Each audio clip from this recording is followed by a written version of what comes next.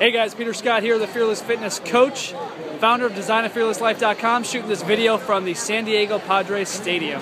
It is, uh, I'm here with my boy Jeremy Coombs right here. Padres Fan Fest, live and direct. Padres Fan Fest. So we are on the field right now with a ton of people here in San Diego, and I just wanted to shoot this video to remind you guys to take time each day to just enjoy life and do fun things. You know, we're always pursuing our goals and we're making a lot of progress, but carve out time for enjoyment and do things that uh, inspire you and are in alignment with your hobbies, and uh, you can do cool shit like this. So, make it a great weekend, guys. This is Peter Scott reminding you to get clear, be certain, and stay fearlessly committed to creating badass results in your life today.